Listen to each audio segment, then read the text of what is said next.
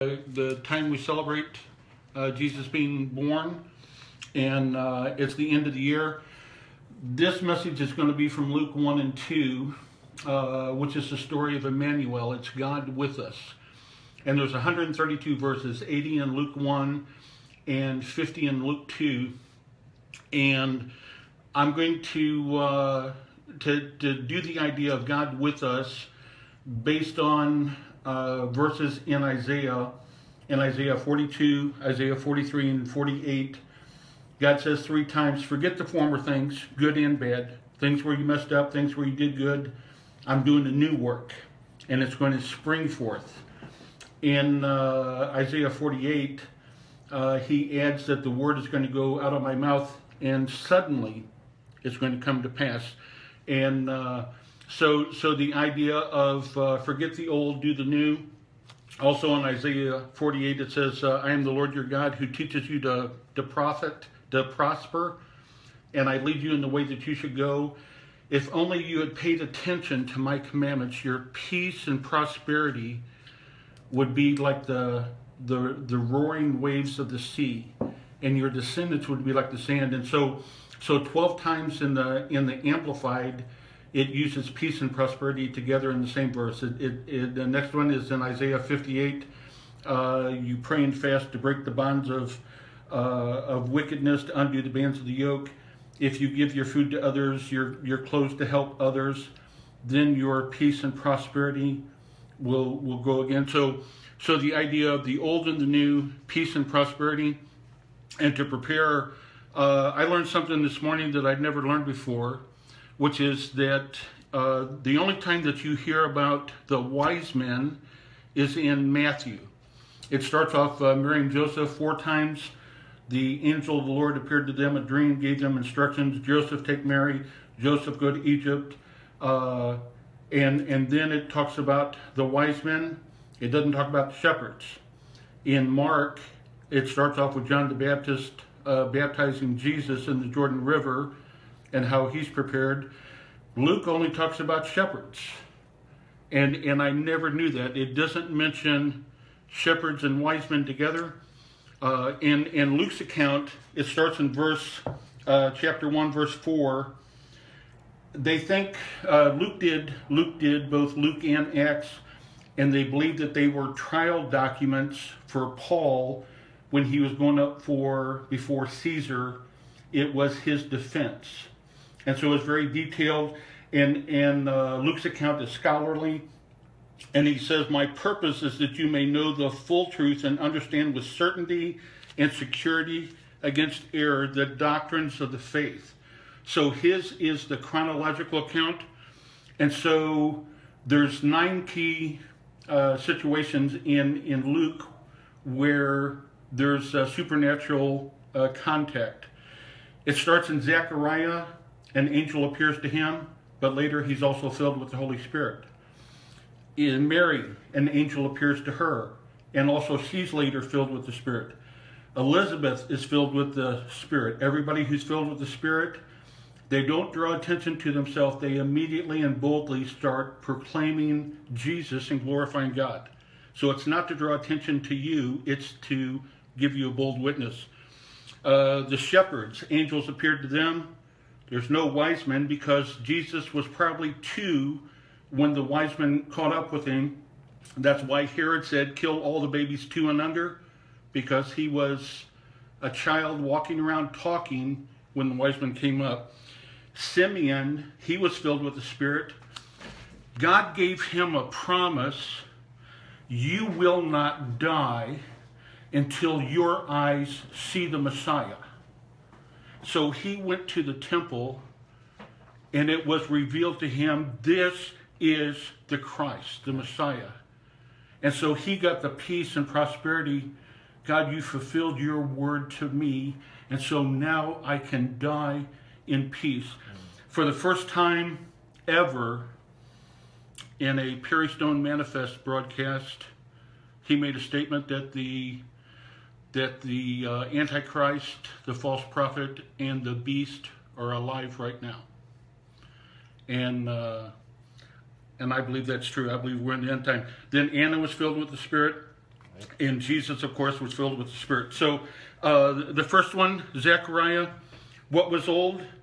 He's a uh, righteous man. Both he and Elizabeth were of the tribe of Aaron and the high priestly tribe. They were righteous in the sight of God. They followed the commandments. But they, the problem was there was no child. They were old, very old, far advanced in years, and she was barren. And what was new, in response to his prayer, the number two angel, God's got ten thousands and ten thousands of angels, and the number two angel appears to Zechariah in response to your prayer for your barren wife. God heard your prayer, and she and and and about a year from now, she's going to conceive and give you a son. And uh, the peace and prosperity is that not only is he is he going are you going to have a son, and so God's going to fulfill the promise and take away the reproach, but you're going to have joy and exultant delight and many are going to rejoice over his birth. So he's going to be an honorable person. He's not going to end up in jail or hurting people. He's going to be great and distinguished, but he must drink no wine or strong drink, and he will be filled with and controlled by the Holy Spirit even when he's in his mother's womb. So all this argument about is it a mass of tissue or is it life? I think God answers that here. If the baby can be filled with the Holy Spirit in the womb, then it's a living being. And if you kill it in the womb, then that's murder. And so uh, John the Baptist, he's going to turn back and cause to return the sons of Israel to the Lord our God. He's going to go in the spirit and power of Elijah, and he's going to turn the hearts of the fathers back to the sons. He's going to restore it. He's going to turn the hearts of the sons back to the father. There's not going to be a millennial group and the and the and the uh, and the baby boomers. That's good. He's going to turn their hearts That's good. back together, and he's going to he's going to walk in the knowledge of the holy love of the will of God, and prepare us, prepare the people, to be in the right moral state for the Christ to come. And when you think about John the Baptist, he didn't have a feel good message. He was a rough character. He was in, in camel's hair and ate locusts and wild honey. That's right. Aren't you glad they didn't tell us what Jesus ate? if Jesus if Jesus ate oatmeal with lumpy raisins in it, then every mother would say, "Well, you got to eat oatmeal with lumpy raisins because if Jesus did it, we." And so God spared us having to eat lumpy lumpy raisins and oatmeal. That's right, And, and we didn't know anything that he ate except he ate fish and bread All right. All right. and uh, he took communion. So, so the angel is nine foot tall. He appears to Zechariah. He tells him he's the number two man. He said, God has heard your prayer. Your wife's going to deliver. He's nine foot tall. And Zechariah challenges him, How do I know that this is accurate, that this is going to take place? Well, I am Gabriel. I stand in the very presence of God, and my words are of a kind that will be fulfilled in the proper time. And to show you, you are not going to speak for nine months until the baby's born. Actually, it took uh, Elizabeth about a year. So, for that whole time, and he was deaf and dumb. Because later, when they when they go to him and say, "The baby's born. What do you want to call him?" They have to make signs to him oh wow. if he could hear, you wouldn't have to make signs. So he was deaf and dumb, and and they they motioned to him in signs. And when he said, "His name shall be John," then the Holy Spirit came on him, and he prophesied more about what John the Baptist is going to do. And it goes on for like 12, 15 verses. It's outstanding. So now we go to, to Mary. So so that was that was Zechariah. Uh, the old was faith. The new was God answered his prayer. The peace and prosperity. Your son's going to do good. He's going to restore people. Next is uh, is Mary, uh, and and God could have chosen. Why did God choose Mary out of all of the virgins that were available? When she gets filled with the Holy Spirit, she talks about uh, Abraham's covenant, about being the seed of Abraham, about God fulfilling His promise, and and God humbles the proud, but He gives He gives grace to the humble. So she knew the Word of God Mm, that's good. And and and Mary had to cooperate with the Holy Spirit. If God could force people to do stuff, He'd force everybody to be saved and come to a knowledge of the truth. He'd force them to go to church. He'd force them to tithe.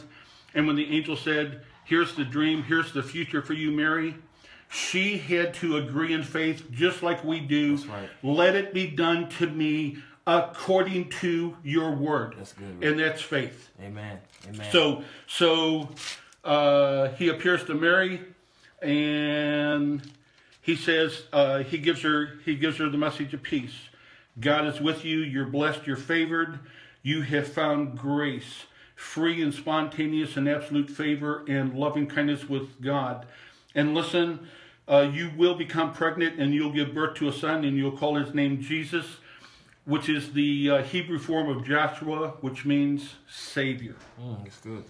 And he will be great. So so Mary gets a word too. She gets peace and prosperity. He's going to be called the Son of the Most High, and the Lord God will give him the throne of his forefather David. God made a promise to David that he would. He, David is going to sit on the throne in Israel during the millennial reign for a thousand years. David had a heart to know God, and God is going to let him be uh, king over Israel, and Jesus is going to be king over all the kings of the earth. But he's bringing David back and letting him reign for a thousand years as king again. Uh, the angel said to you, The Holy Spirit uh, is going to come up on you, and the power of the Most High is going to overshadow you, and the holy thing to be born of you is going to be called the Son of God. Mary doesn't challenge you, Mary questions. I don't understand. I'm 15 years old. I've never had intercourse with a man. I don't understand how can I get pregnant and have a child because I don't know a man. So she's asking a clarifying question, which is different than how do I know this is going to be true? Right. Right. Right.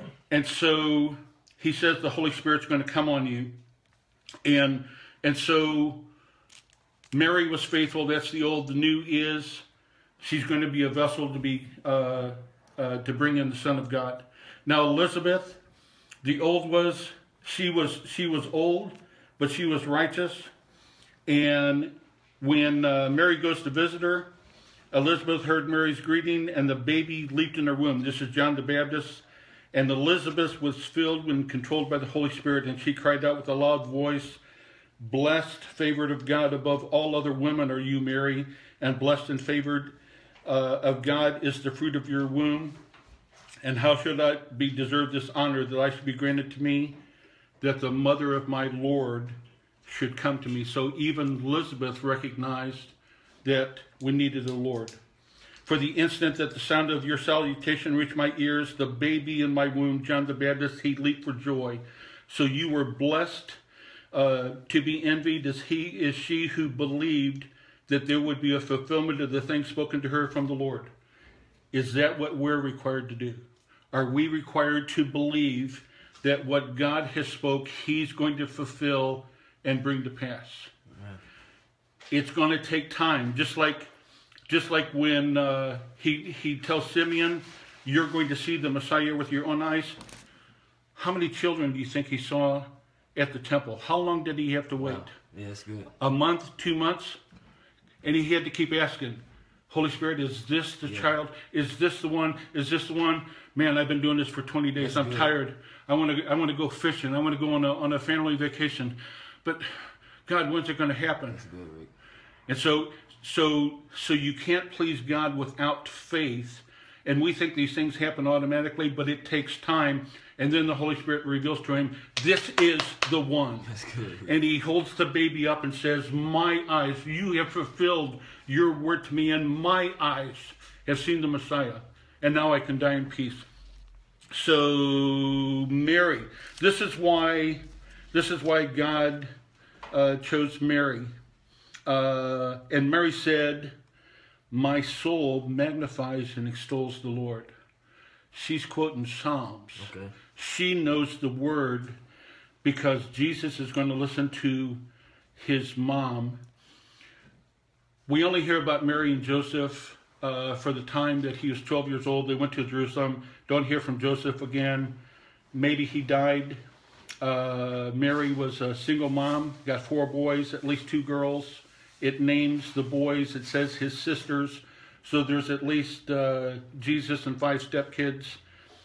And she knew enough about him that when they go to the wedding, all of that stuff about Jesus doing a miracle when he was a, a little boy and, and, and playing soccer and some boy was sick and he bumped him on the soccer field and he got healed. All of that is incorrect because it says in uh, that that his his miracle at the wedding of Canaan was the first miracle that Jesus did after he was anointed with the Holy Spirit. Oh, wow. So so there couldn't have been anything else. And Mary said, "Whatever he tells you to do, do it." That's still a good word for us. That's right. If he says, I want you to be a youth pastor, then that's what you do. You might have wanted to sing, you might have wanted to travel, right. you might have wanted to open a shoe store, but he said, I want you to be a youth pastor. And whatever he tells you to do it, you do it. That's right. Amen. So, so here's why Mary was was chosen as the mother of God. My soul magnifies and extols the Lord, and my spirit rejoices in God, my Savior. Isn't that something? Mary, under the Holy Spirit, recognizes that she needs a Savior. There is no co-redeemer. Jesus died for our sins. Jesus rose from the grave. There is no there is no redemption through Mary. She was the vessel you got a you got a glass bottle. You put you put Mogen uh, you put uh, Strawberry Hill wine in it. That's ninety nine cents. It's it it's just in the vessel, so it's the wine itself that has the value. Right. But if you take if you take fifteen hundred dollar champagne and put it in the same bottle, the bottle's only a vessel. It's the wine inside that's worth the worth the cost. That's good, Rick. So she said, God has looked upon my low station, my humiliation, but from now on, all generations will call me blessed and declare me happy and to be envied. Yes, we will call you blessed because you obeyed God and you had to activate your faith. If she would have said, No, I don't want to get pregnant with the with the, the Son of God, and God would have had to raise up somebody else. He who is almighty has done great things for me, and holy is his name. He's to be venerated in his purity, his majesty, and his glory, and his mercy. Mary knows the word. Right. In his mercy, his compassion and kindness is towards the miserable and afflicted, and is upon those who fear him with godly reverence. Does that include us? We make a choice to reverence God and to fear him and to worship him. She keeps going. He has shown strength and he has made might with his arm. God scatters the proud and the haughty by the imagination and purpose and designs of their hearts. He puts down the mighty from their thrones and exalts those of a low degree. Uh, that's a psalm that, that, that God raises up people from the dunghill. We look at them and don't think they're worth anything. That's right. But but God does the mysterious. He brings down, he humbles the mighty, and he exalts those who humble themselves. Amen. He has filled, Mary keeps talking. She's talking for 10, 12 verses. God has filled and satisfied the hungry with good things, and the rich he sent away empty handed without a gift. And he is, God has laid hold of his servant Israel to help him in remembrance of his mercy as he promised to our forefather Abraham. She knows the covenant, she knows the blessing. Can we say that we are the seed of Abraham and the blessing of Abraham is ours? Mm, that's good. Absolutely, we can we can say that. So, so Mary was righteous. What's new? Uh, she finds out she's going to be the mother of the Son of God, one in honor. My soul magnifies God. She gets peace and prosperity. She talks about God's goodness. She talks about the covenant. She talks about the blessing. She talks about God humbling the proud and exalting others. Zechariah, uh, Zechariah, he uh, here's what's here's what's old on him. He was uh, he was deaf and dumb, and so it's time for for John the Baptist to be born, and and all the relatives. Oh, you got to watch out for them. All the relatives are saying, you know, it's it's tradition. It's tradition that they got to be called Zechariah Jr. They got to be called after your name. We don't have anybody in the family who's named John. What are you doing? It's going to inter- interrupt the family, and and uh, and and Elizabeth honors her husband. Let's see what Zechariah wants to call him. They they make signs for Zechariah because he's deaf and dumb. He writes on the tablet, his name is John. As soon as he obeys the prophetic word from Gabriel, his mouth is open. This is verse 64. And at once Zechariah's mouth was opened and his tongue loosed, and he began to speak, uh, he's blessing, he's praising, he's thanking God under the Holy Spirit. He's not drawing attention to himself. And awe and reverential fear came on all the neighbors.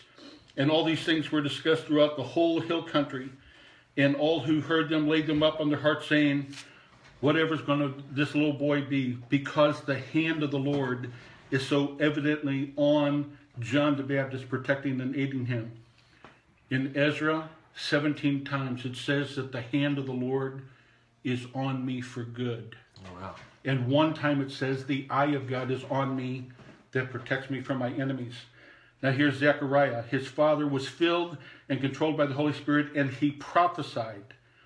Blessed, praised, and extolled, and thanked be the Lord, the God of Israel. Everybody's praising and thanking God under the Holy Spirit, not drawing attention to themselves. That's good, Rick. Because because God has come, He's brought deliverance, He's brought redemption to His people. He's still doing that today. He never changes. He's the same yesterday, today, and forever. And God has raised up a horn of salvation, a mighty and valiant helper, the author of salvation for us in the house of David, his servant. This is as he promised by the mouth of his holy prophets. So, so God's fulfilling his promises. They never go away. Uh, the last verse of uh, 1 Chronicles 17, 27, it says, what God has blessed is blessed forever. Oh my God. It never goes away. My so if you were blessed, you're blessed now.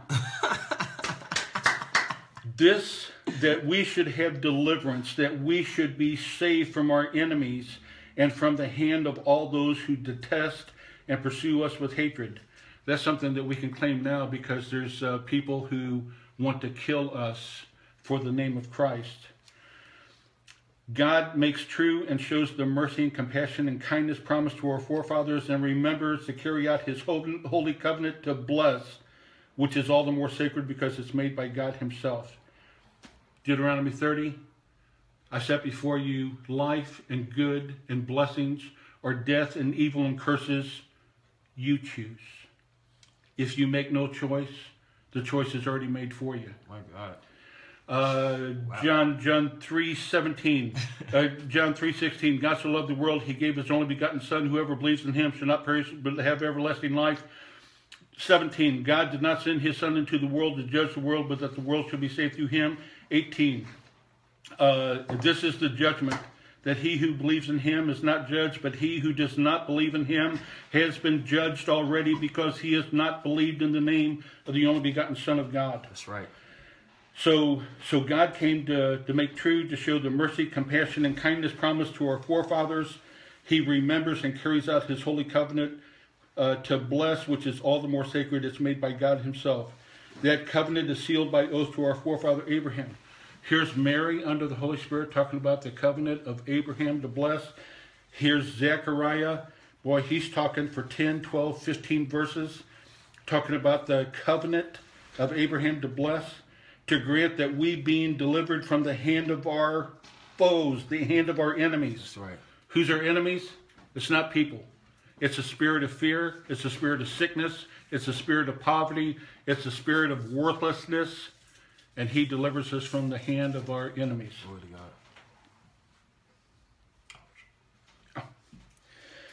To grant that we, uh, that we being delivered from the hand of our enemies, we might serve him fearlessly in holiness and divine consecration and righteousness in accordance with the everlasting principle of right with his presence all the days of our lives.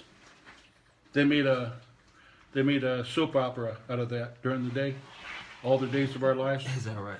but it came from Zechariah. you know, you, you know the idea where women say, "You never listened to me." Yeah. It probably started with Elizabeth. Oh my God. because Zechariah was quiet, couldn't hear nothing for, for a whole year, and, and, and couldn't speak, couldn't talk, and, and and she's the one who started it. You never listened to me. Well, I can't hear you, baby. What are you saying? And you little one. That's a that's a that's from the Rick Hall unauthorized version of the Bible. I don't I don't think that was real inspiration, but but it's sure funny. And you, little one, you shall be called a prophet of the Most High. He's prophesying under the Holy Spirit. And you shall go on before the face of the Lord to make ready his ways, to bring and give the knowledge of salvation to his people in the forgiveness and remission of their sins. So it's not just to say you're wicked, repent, Right. but the kingdom of heaven is at hand, and you don't have to be separated from God. You can have remission of your sins now because of and through the heart of tender mercy and loving kindness of- of our God, a light from on high will dawn upon us and visit us. Who's the light? That's Jesus. That's John 1. In the beginning was the Word, the Word was with God, the Word was God. There was a light that was shining in the darkness. That's Jesus. So he's going to bring us the light. And this light is going to shine and give light to those who sit in darkness and in the shadow of death. You know, a shadow never hurt anybody. Oh wow. Shadow of a dog never bit anybody. Mm. Shadow of a lion never never ate anybody. That's right. It's just a shadow. That's Psalm 23. You know, uh, and uh, so so we're going to have a straight line in the way of peace. And the little boy grew and became strong in spirit. So, Father, we thank you in the name of Jesus. We're going to forget the old. We're going to forget the disappointments, the pains, and the hurts. We're going to forget the good things that we did. But we know that you have them recorded in a book of remembrance all of the good that we did, all of the seeds that we planted, that that it's going to it's going to point people to you.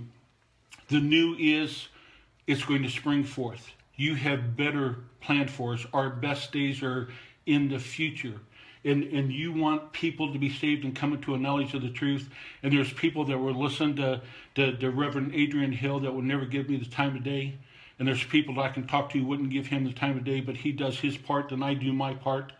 And at the end of the day, people get saved and delivered and restored and healed, and the hearts of the sons get turned back to the fathers, and the hearts of the fathers Yes, yes. restore their sons. We don't have millennials and the baby boomers. We have one voice, one accord. yes. We glorify the God and Father of our Lord Jesus Christ.